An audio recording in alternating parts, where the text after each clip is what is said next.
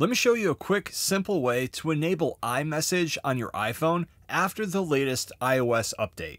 If your text messages are showing up as green bubbles, even when messaging with other iPhone users, that usually means that iMessage has been turned off. You may have disabled it in the past to save data, or it could have been turned off during the recent update on accident. Either way, it's really easy to turn it back on. And with iOS 18, Apple's made some changes to how you can get to these settings, so this is an updated video on a past one I've done on how to find it and turn it back on. To get started, first find and open the Settings app.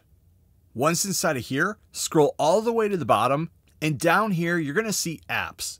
This is the new section that Apple introduced in iOS 18 that now has most of the options that we used to be able to find just here inside of the main settings menu.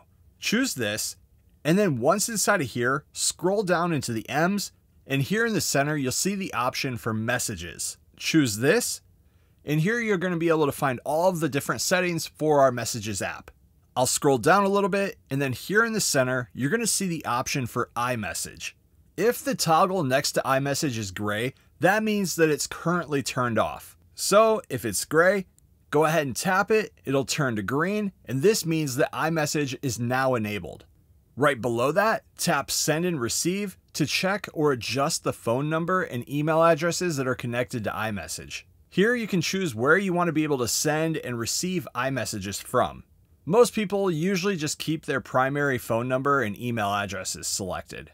And remember, for iMessages to work, everyone in the conversation must be using iMessage and must be on an Apple device. If someone you're texting with doesn't have an iPhone or hasn't turned on iMessage, your messages are still going to go through as standard SMS text messages, and those are going to appear with the green text bubbles instead of the blue.